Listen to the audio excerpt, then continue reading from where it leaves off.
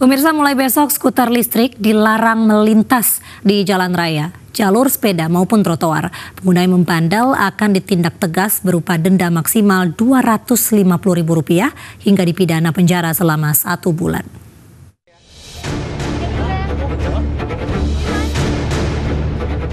Dinas Perhubungan DKI Jakarta bersama Direktorat Lalu Lintas Polda Metro Jaya resmi melarang penggunaan skuter listrik di sejumlah kawasan, yaitu jalan raya, jalur sepeda, serta trotoar. Pelarangan tersebut berlaku mulai besok, yakni Senin 25 November 2019.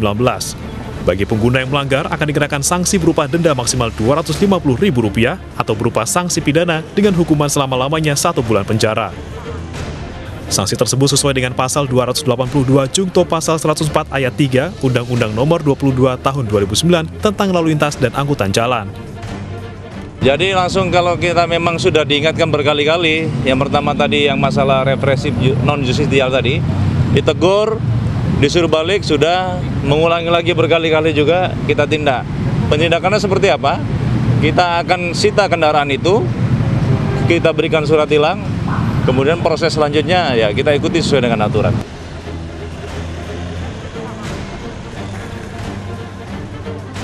Sambil menunggu rampungnya regulasi penggunaan skuter listrik, saat ini Dinas Perhubungan DKI Jakarta memperbolehkan penggunaan skuter listrik di kawasan tertentu dengan syarat mendapatkan izin dari pemilik kawasan.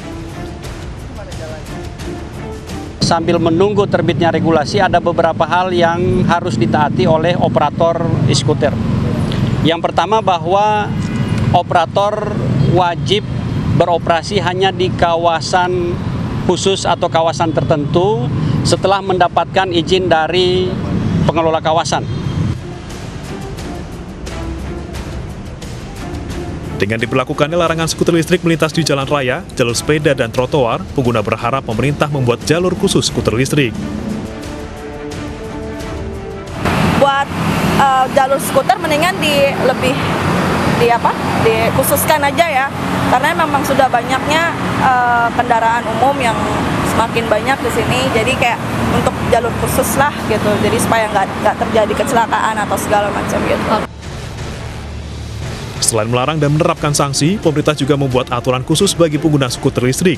Di antaranya, pengemudi harus berusia minimal 17 tahun, diwajibkan memakai helm dan alat pelindung kaki serta siku, dan menggunakan rompi reflektor jika mengemudikan skuter listrik pada malam hari. Tim Liputan iNews melaporkan.